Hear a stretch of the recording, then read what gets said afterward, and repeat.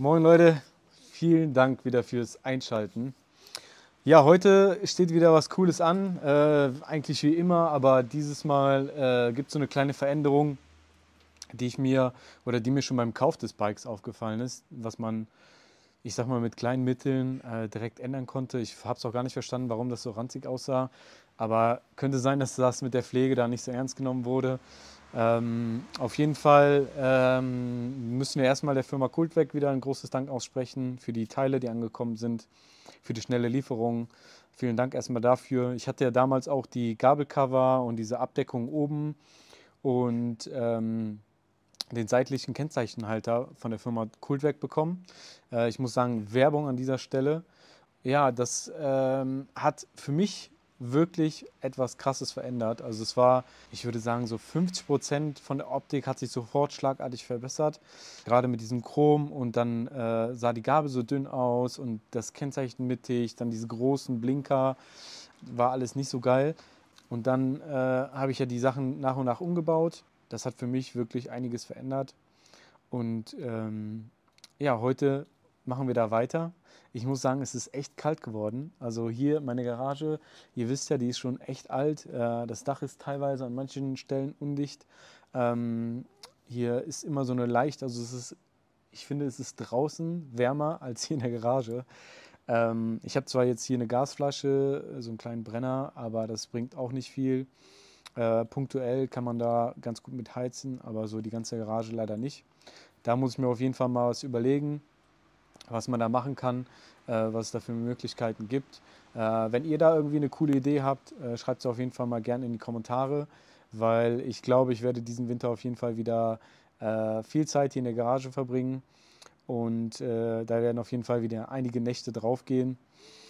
Ja, und somit, also ja, privat, wie läuft es bei mir? Baustelle ist soweit gut. Ich baue aktuell ein Haus äh, mit einer neuen Garage.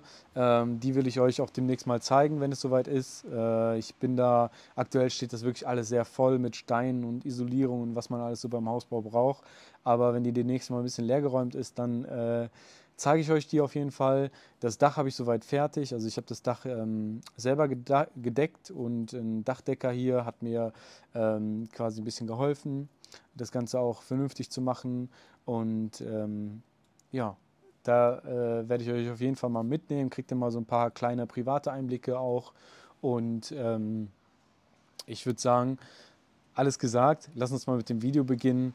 Und ja, genau, was mir noch wichtig wäre, es wäre cool, also die, für die Leute, die immer hier am Start sind, dass ihr die Glocke anmacht, den äh, Kanal abonniert, ist auf jeden Fall kostenlos, bringt uns einfach nur ein bisschen mehr Reichweite und ähm, ja, über einen Daumen nach oben freuen wir uns immer oder einen Kommentar zu dem Ganzen und ähm, ja, damit können wir das Video beginnen. Lass uns mal starten. Viel Spaß beim Video.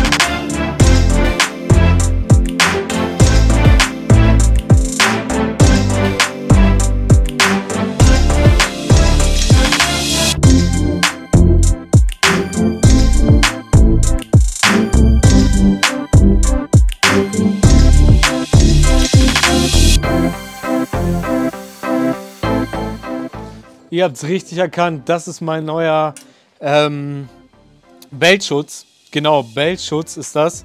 Ähm, den verbaue ich jetzt, werde ich jetzt hier verbauen. Ihr seht, der alte ist total abgeranzt. Äh, sieht aus, als hätte jemand hier versucht, dran rumzupolieren.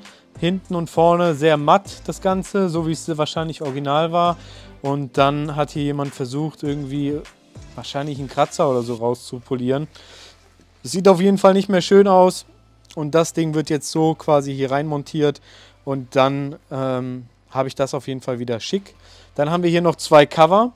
Einmal äh, von der Firma Kultwerk auch dieses seitliche Kupplungscover äh, oder den Kupplungsdeckel ähm, mit so silber reingefrästen Applikationen. Und ähm, dann haben wir hier noch hier auf der anderen Seite das Ignition Cover ähm, für die rechte Seite dann. Und äh, ja, das bauen wir jetzt mal ein und mal gucken, wie das Ganze dann wirkt. Ich denke, das wird ziemlich geil und wird auch relativ schnell eingebaut sein.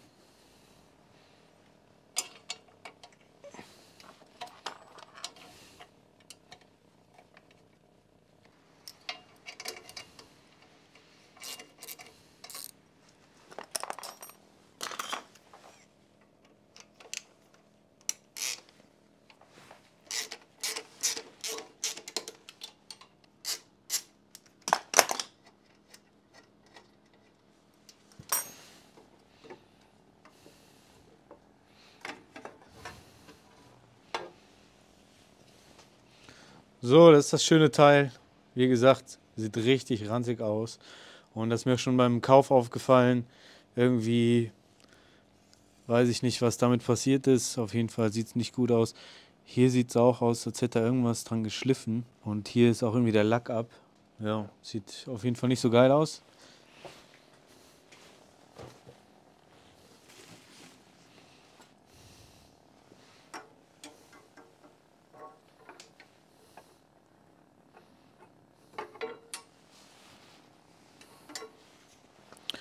Ähm, ich hatte mir mal irgendwann so, so ein Set hier geholt bei Ebay.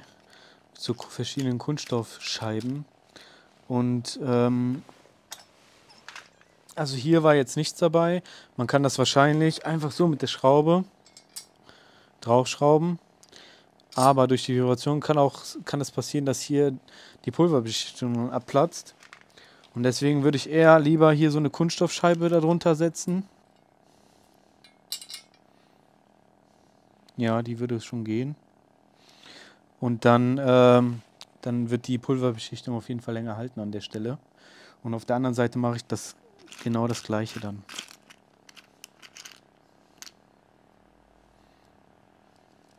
So.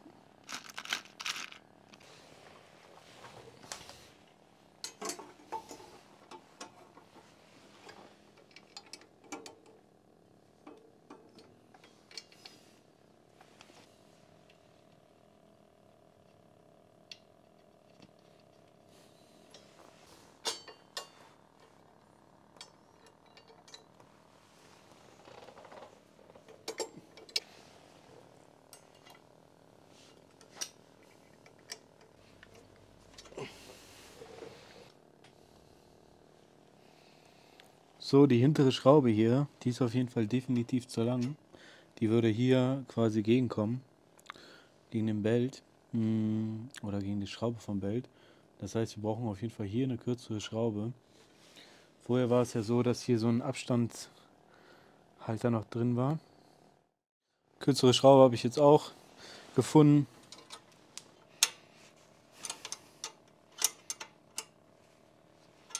So. Und so schaut das fertige Ergebnis aus. Sieht auf jeden Fall sehr nice aus. Zeige ich euch später auf jeden Fall nochmal draußen. Äh, meine Tasche hier von bikertaschen.de äh, passt hier auch noch super. Äh, das kommt da auch nicht gegen oder so. Das ist mir auf jeden Fall wichtig, dass ich die auf jeden Fall wieder montieren kann. Das wird jetzt demnächst wieder kommen. Ähm, Rabattcode dafür blenden wir euch auf jeden Fall jetzt hier nochmal ein.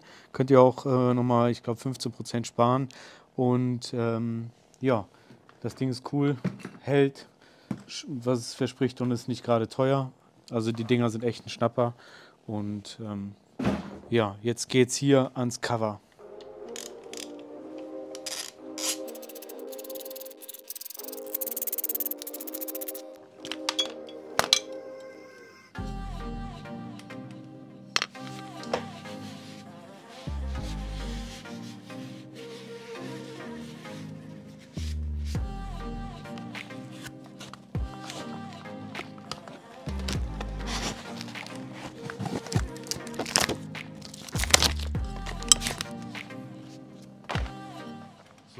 Normalerweise ist hier eine neue Dichtung angesagt. Aber ich benutze jetzt nochmal die alte. Ich habe die ja erst vor kurzem getauscht.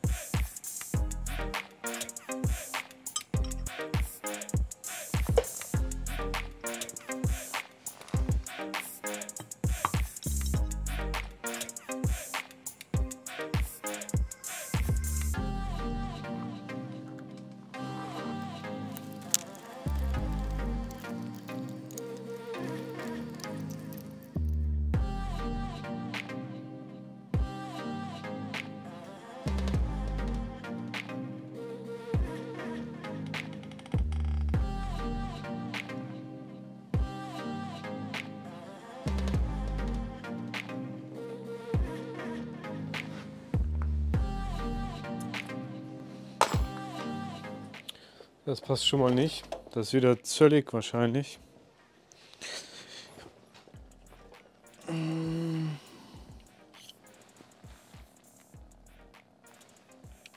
Also manchmal könnte ich durchdrehen mit diesem metrisch und zöllig, weil das immer so, ja, das ist wieder hier, also da braucht ihr so ein 3,32 Still.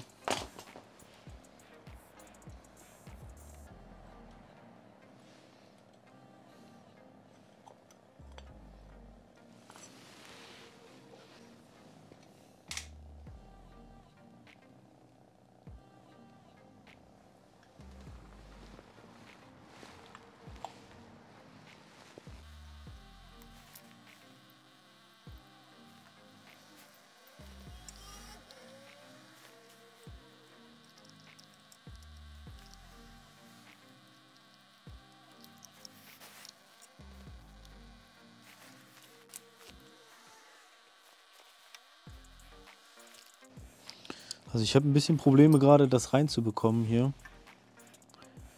Ich merke, dass die Löcher nicht so 100% übereinander stehen. Ich habe jetzt mal die oberen Schrauben nochmal gelöst. Und schaue mal, ob ich die hier ansetzen kann.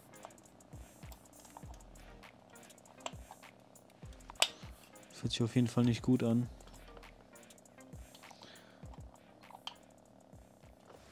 Nee. Ich werde das Cover jetzt nochmal rausnehmen. Und dann werde ich mal die Löcher mit denen von dem Originalen vergleichen. Also hier die Löcher passen exakt überein. Ähm, nur bei dem Cover ist es ein bisschen schräger, das Ganze. Sollte normalerweise funktionieren. So, ich habe mir jetzt hier so eine Rundpfeile genommen werde das Ganze jetzt einfach ein bisschen den Grat hier entfernen, weil ich denke, man kriegt so rein, aber das Problem ist, ich will mir auf gar keinen Fall irgendwie das Gewinde oder die Schrauben kaputt machen und deswegen gehe ich jetzt einfach hin, werde das hier ein bisschen feilen und dann einsetzen. Also die könnten mühe größer gebohrt sein, die Löcher. Das Komische ist beim Aufeinanderlegen, ist es gar kein Problem, es passt. Aber irgendwie ist das Ding, hat das so eine leichte Schrägung. Und deswegen geht es wahrscheinlich dann nicht rein. Das Cover ist soweit fertig eingebaut. Sieht richtig Bombe aus, finde ich. Auf jeden Fall schöner als das alte Cover. Das war schon relativ durch, so. Auch vom Lack her nicht so schön.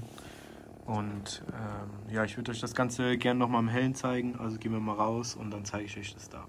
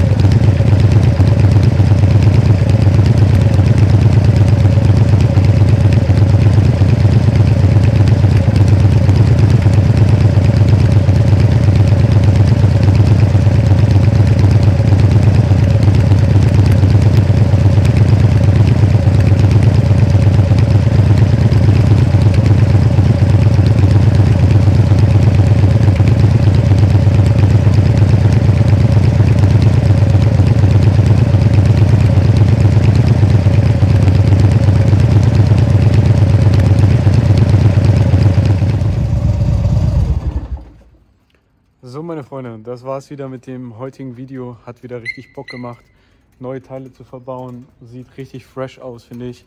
Ja, der Regen hätte uns erspart bleiben können. Das wäre auf jeden Fall sehr nice gewesen.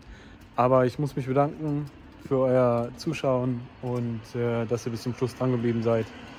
Und würde sagen, bis demnächst, euer Phil, haut rein, ciao.